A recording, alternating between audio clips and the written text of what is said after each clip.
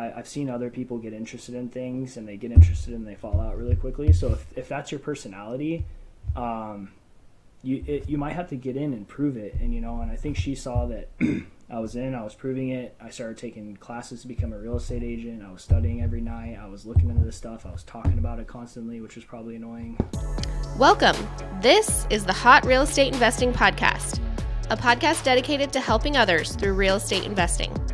Our hosts interview guests from all aspects of real estate investing who generously share valuable experiences and advice. Whether you're starting out or an experienced investor, this is the show for you. Hello, and how's it going? Welcome to the Hot Real Estate Investing Podcast, where we interview guests who want to help others investing in real estate. My name is Travis Shelton, host, and thank you so much for joining us today. I'm really looking forward to an amazing conversation with a good personal friend, uh, Jake Kain, who's a local Phoenix realtor, a team leader, investor, and host of the of a local uh, Freedom Meetup. Jake, bro, thanks for joining me today. Travis, man, uh, I'm so happy to be here. Thanks for having me. I'm really looking forward to it. I've been looking forward to this for a while now. Yeah, for sure. And uh, you know, I know your time's valuable but um and and you're big time now i think but uh t- tell our audience a little bit more about yourself you know maybe where you're from and you know how'd you get in- involved in real estate? Yeah so actually i'm uh, from phoenix arizona born and raised um, and i was kind of in you know i came from the w2 world. I was kind of going through like high school. I kind of got into some um, like drafting classes got really interested in like architecture and engineering and, and mm. stuff like that um, so I was kind of working my way up through there. Went to college. Um, was kind of going that route. So I was working as a W two employee as a like a CAD technician. okay. And 2016 was kind of like a transformational period for me, a transformational year. I was coming up on the last uh, on the last end of my uh, contract with the Arizona Army National Guard. Um, I was also kind of in a spot at work at W two at my W two job where I was trying to figure out kind of what's next for me. Um, and so I kind of found like personal development and real estate investing at the same time. Um, nice. Which is kind of cool because they kind of, I mean, even to this day, they kind of coincide with each other. So for sure. We always start our shows off with some motivation. So uh, I always ask our guests to bring on some a motivational quote. So Jake, can you share yours with our audience today? Yeah. So my, I'm not going to read the whole quote just because it's kind of a lengthy one, but my favorite quote that's kind of stuck with me um, since close to the beginning is "The Man in the Arena" by um, Teddy Roosevelt. Um, the reason why this one's important to me is just because every time I read it, and no matter what kind of season of life that I'm in, um, there's just different parts that kind of stick out to me. I think overall, it's just the, the the biggest thing for me is the fact that like not everybody can understand kind of what you're going through, um, mm-hmm. and, and life is just a big, you know, it's a big challenge. And so I think for me personally, I growing up, one of the hurdles that I kind of had to get over was always constantly trying to like break out of this perfectionism mold and then also mm-hmm. worried about so much uh, other people's opinions. Um, so that's why the quote to me is just it, it just means a lot to me, um, and it's kind of just changed over over time. So man, we're we're we're more alike than you know, and uh, I like I told you before we hit record, like it was super powerful for me to read this quote. I hadn't actually read the quote before. Oh, okay. Um, but I, I'm I'm the same. You know, I think you know as a, a pharmacist by training, we're we're taught to be perfect perfectionists, mm-hmm. right? You can't make an error, or you can cause harm to somebody else, and just you know, straight A student going through school, and just someone that was you know. Uh, you know didn't measure backwards. And and if i make you know if you get a 98% you're worried about that one question you got wrong. Yep. so and really always caring about mo- too much about what people think. And um, I love that because I think we're both a- aligned with that personal development with with the love of real estate investing. So thanks for sharing that quote, and uh, definitely if you haven't read it, get out there and read uh, Theodore Roosevelt's "The Man in the Arena." Um, really good quote. Okay, Jake, now let's transition over to really the main part of our conversation today. And how can you help our audience of real estate investors? Yeah, actually, so um, one of the biggest things I wanted to focus on was um, like getting out there and making connections. uh, building relationships, uh, being relational, not transactional, uh, collaborating with other other investors and other people in your marketplace. Um, I think that's such an important. That's probably the most important. I think for me, is just um, understanding that this journey isn't isn't doesn't need to be run solo. Like getting out there and creating a team and meeting others and kind of um, just connecting with those people is ultimately how you kind of get to the next level. Man, you know, you know, I couldn't agree more. But what are some ways that that you personally kind of got out there and networked yourself, or, or that you're currently networking with with other investors and, and agents and people in your community? Uh, meetups, local meetups for sure. Uh, that's something that I probably heard it on the podcast, the Bigger Pockets podcast back in the day when I first got into real estate investing. Um, started going. That's how me and you connected. Uh, I got mm-hmm. came out to your meetup back back in the day before I ever started, and I think it's just kind of understanding, you know, the level that you're at, but put yourself out there. It doesn't matter. And I think if you go to a few of these local meetups and you get into the right communities, um, you're going to be welcomed no matter what level that you're at um, everyone here is super helpful, and we all, you know, that's the whole name of the show, right? We all like helping each other, and um, it's kind of exciting to see, you know, brand new investors all the way to seasoned investors come in and just kind of pick each other's brains and see how we can help each other grow. So definitely get out there in your local market. No, I love that, and and it is such a unique world. I feel like real estate investing and so collaborative, and uh, I do have to appreciate and throw out, you know, Jake went straight from the Bigger Pockets podcast to my podcast, so I, I, really feel very honored and special, you know, that you know he was able to get interviewed for the Bigger Pockets podcast, and then you know graced me with his, his presence today. But uh, you know, so would you recommend to someone maybe getting started in real estate investing, um, you know, or like when is the point where maybe you should consider starting your own meetup, or what kind of made you consider starting your own personal meetup? Yeah, that's a gr- great question. Actually, um, I I honestly truly believe you can start at any any time. Really, I think mm-hmm. the biggest thing, and just being 100 percent honest for me, the hard thing was getting over kind of that imposter syndrome. I know me and you have talked about that a little bit in the past. Um, I think when you're kind of like a leader of anything or an organizer, uh, you're we're we're our own like hardest critic, right? And so we kind of Always. expect that we need to be the guy at the front of the room that knows everything but I mean, when you kind of take this approach, and you know we're up there, but we're we're more or less up there just to co- to build a community and bring people together. We're not up there because we know everything. So um, as long as you can kind of get over that and understand that you don't need to be the head guy, you're just more or less of um, the hub for everybody to get together. I don't. I mean, I encourage it. I think the reason why we started ours was just we saw. Um, something extra that we could bring that wasn't really mm-hmm. available at the time, and so we just wanted to, you know, we figured why not us. So absolutely, you know, and you guys do. Uh, you and Jason have an amazing, you know, meetup that I also attend and support, and uh, you know, you guys got a lot of great real estate investors that show up to it, and definitely. I think when your heart is in the right place and the focus is giving back and just connecting people, um, you know, the sky's the limit. So yeah, I mean, definitely. Uh, I you know, kind of transitioning gears now. You know, we're we're both in this spot where we have these W twos and uh, we have these wives, amazing wives with W twos as well. Um, tell me, like, who who who got sparked into real estate investing first? Was it you? Was it Heather? Kind of, and then how did how did the other one kind of come along in that in that story? Yeah, so it was it was me. So like I had mentioned in the beginning, I was I was working the W two. I was kind of trying to find my next move there. Um, getting out of the military, and I found investing, and I started listening to the podcast, reading the books, kind of what people normally do, and. Um, I mean, Heather was already in the field. She she was an interior designer. She was working for an architecture mm-hmm. firm at the time. So I, I think like our first real conversation was we were just like at you know in the kitchen or at the dinner table and I just said like what is what what would you do if you didn't have to like if you didn't have to work?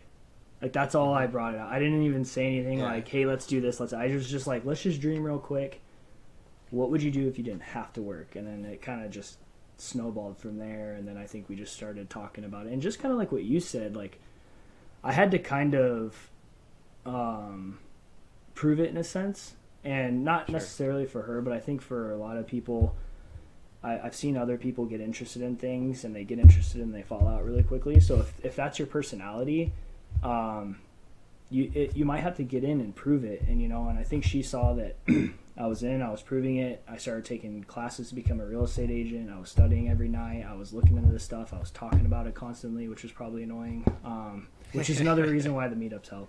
Um, Yeah. But yeah, so I think it was just kind of I was showing it. You know, I wasn't just talking about it. I was showing that I was taking action towards it, um, which also kind of helped bring it to life. So I think it just casting the vision, and then it got her excited about it, and she could see where she fit, where she fit into the vision as well. Well, and you did the work, right? And I think that's like uh, you, you got to have the support from the wife. You know, if you can't go and kind of go on your own journey and, and be doing all this crazy, you know, spending all these hours out at meetups just drinking beer, Right. right? They probably think you're just drinking beer, like hitting on other people. Yeah. It's like no, you're really networking with you know other real estate investors. Or I know Heather comes to meetups with Mhm. you, and Erin comes with me whenever she can. Um, but it's it's really cool to see him out there, and um, you know I've had the pleasure of seeing both of you guys kind of um, you know further develop over the last couple years and just get more comfortable um, at these at the meetups. And I'm the same. I had to really prove it with Erin and my wife uh, that I was a real estate investor, not just a dabbler. Because as I think as an entrepreneur, I always have these crazy ideas. Yep. Like I almost bought a Jimmy John's franchise in pharmacy school. Like I've, you know, so I think she hears some of these stories, and it wasn't until really I, I did the, you know, started really making money on some of my investments that she was like, hmm, you know, Yeah. this this might be this might be a, a good direction. But I love, love, love the question that you asked her. Um, and that's really what, um, man. I'd, sh- I'd, I'd want, I want our audience, you know, of investors, you know, ask your wife, your, your significant other, uh, that sort of question. You know, what would you do if you didn't have to work? And man, that's just such a great like date night question, Yeah. and and uh, Yeah, 'cause it kinda- mean, it's probably a good one to ask all the time. Yeah, and it kind of just gives you, it, it takes the pressure off of anything behind investing and all. It's not even about that. It's just, you know, what what makes you happy. It's like those questions. What makes you happy? Yeah. Um, what makes you fulfilled? Uh, you know, what would you do if you didn't have to work? If you didn't have to worry about bills? Because that's where our, I feel like our true selves and our most fulfilled, happy inner us comes out. So and it's easy to work hard towards that too you know it's like it's hard to work for someone else's success but it's when it's your success and you're like well this is what i would do or this is where i would travel and, and when you have that goal and that plan uh, i know you, you guys are people that are will do anything to be able to kind of achieve that success and i see how hard both of you guys all work and um, it's really amazing to see your guys' development over the last couple years um, so since we talk a little bit about development, talk about talk to me a little bit about your personal development and what are some things, maybe books you read or people you follow, or you know what has helped you in the development of yourself um, as an entrepreneur, as a as a man, as a as a real estate investor. always constantly improving. Um, you're never really fully finished. Um, there's always another level, and then just kind of accepting that. And I think uh, the biggest hurdle for me, like we talked about previously, was um, kind of letting go of that perfectionism in the sense that just have some grace with yourself, understanding that you're you are improving, you are working on where you want to get to, and and and but you're perfect at where at where you are. Yeah, can't talk you are perfect um, for what you need to be like right now. Um, Yeah. But I think for me, it's just yeah, podcast, books. I've read so many different books, and I and I well, I will say that I kind of teeter back and forth between, you know, I'm super into real estate investing and learning as much as I can there, but I will kind of get to a point where I almost kind of cap yeah i almost kind of cap out for a minute and then i go back to the Mhm. the investing books you know. Um I I just finished um oh dang what's that one? High performance habits haven't listened Okay. haven't listened to that one since probably the beginning so you know revisiting things because it hits you differently at different parts of your So life so true. so I think the first Yeah. time I read it, I, w- I was just kind of fresh and I didn't really know what to do with it until so now the whole time I'm listening to that book and I'm just like, holy crap, this just means so much more. Um, Yeah, you pick up different tidbits Yeah. and where, where you are in your journey and how you can kind of exploit that concept or thought. Yeah, there's Yeah. definitely there's a handful of books I try to read every year just because um, they fire me up, like Atomic Habits Atomic or Habits. you know even Rich Dad Poor Dad. I- I mean those are just you know some some constant ones that I always read. Um, how to Yeah, influence how to influence people or how to win friends and influence people has always been a staple and then also outwitting the devil is another great book um, for just I have not read that. you haven't oh check it out it's awesome Okay. it's, it's a good book it's um those are good ones just to kind of revisit every now and then because i think even as uh, entrepreneurs high performers um, we go through cycles too um, Hundred percent. everyone's i think as i remember myself and even to this day I, I still catch myself doing this but i see someone that you know that i that i admire that like a mentor of mine and then i just kind of hold them to this higher regard. Like they have everything figured out. Like nobody has it all figured out. Everyone's still figuring stuff out so Yeah. um I, I think when, when you were mentioning something that the, the thought that it kept coming through my head was like enjoy the journey. And that's something i'm trying to it's like all these little struggles or little setbacks or even your successes it's like you got to enjoy that whole ride and that whole journey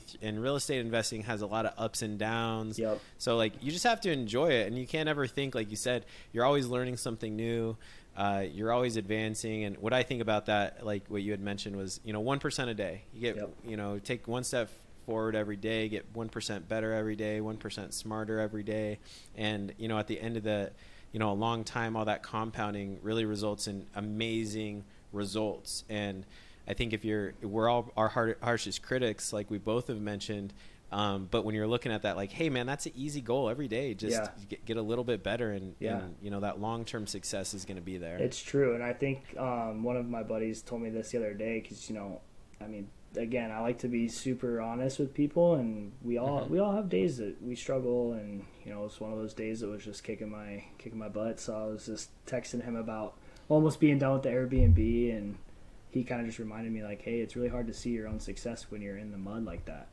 And it's just Yeah. just hearing that, I'm just like, man, you know what? You're right. Like so much to be thankful for and grateful for, and um, sometimes when you're grinding, it's really tough to just kind of like get back and see everything that you're doing and you're accomplishing, and just be just be proud and grateful for it. So yeah man that's powerful Hi, my name is Chris Hallam of Simplicity Lending Group and powered by Nexa Mortgage.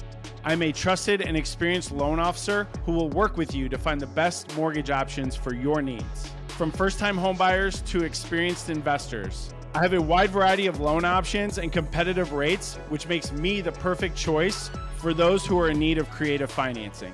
Contact me today and take the first step towards financial stability. i think it's time to throw you into the hot seat you ready yes, let's do it.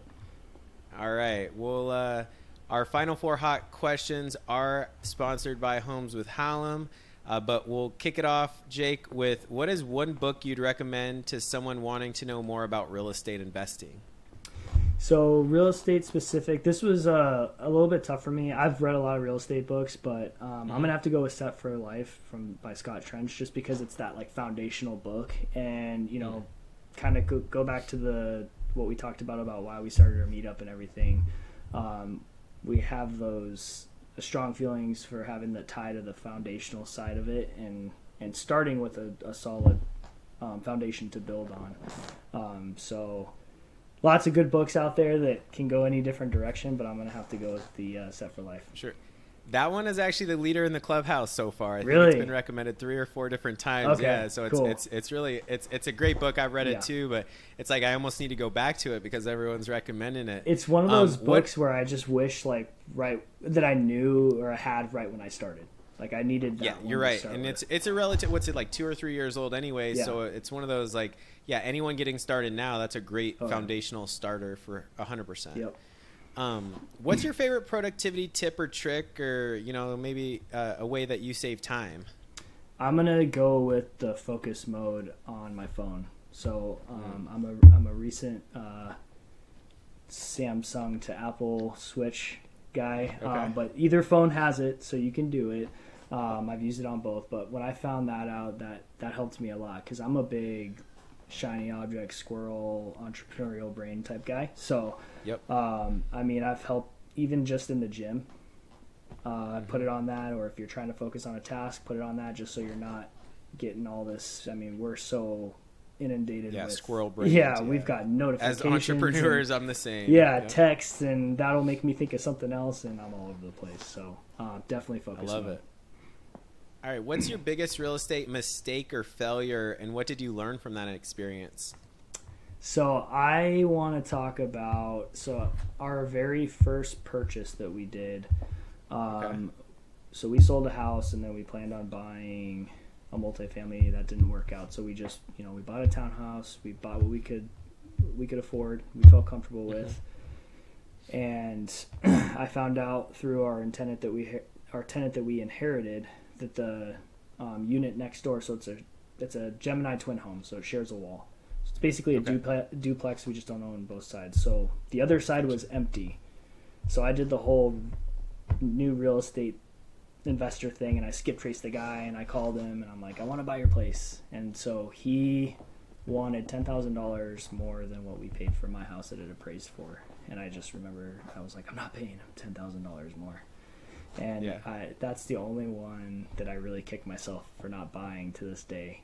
Um, so it's just one of those things where it's like, uh, I guess the lesson from there is uh, just don't, you know, don't be so hard on things and and kind of like what I tell when I help clients buy and new investors getting started is sometimes you just need to take action and stop trying to swing stop trying to swing for the fences. Like you don't need a home run.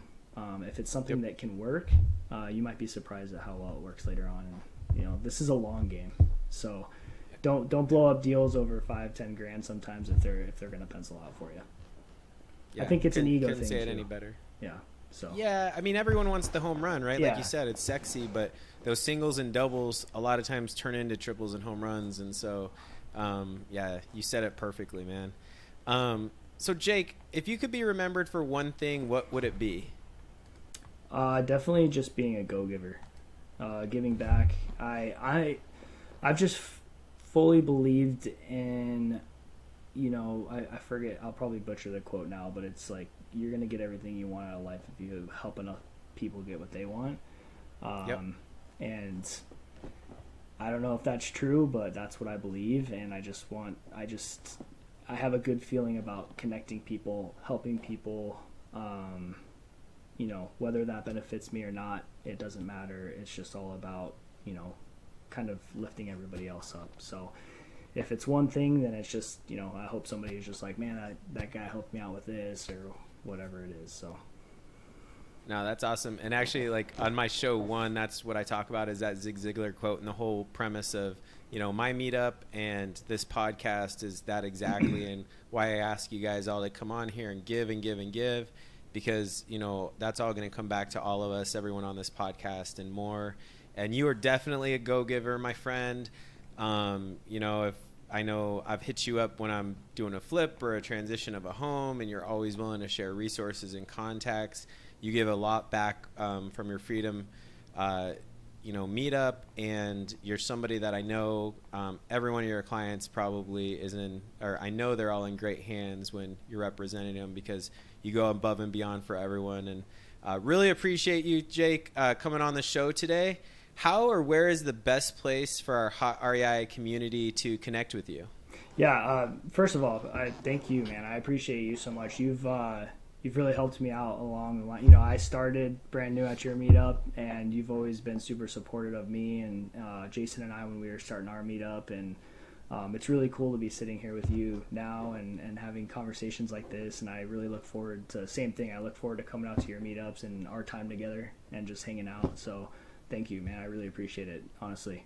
Um, Absolutely. yeah so yeah uh, the best place to get a hold of me instagram uh, at jake underscore kain k-a-i-n Nice. And we'll include all Jake's contact information, phone number, and uh, links to his meetup and his Facebook group. Um, and I definitely highly recommend if you're in the Phoenix metro area to, to make a freedom uh, meetup and in uh, you know network with other real estate investors.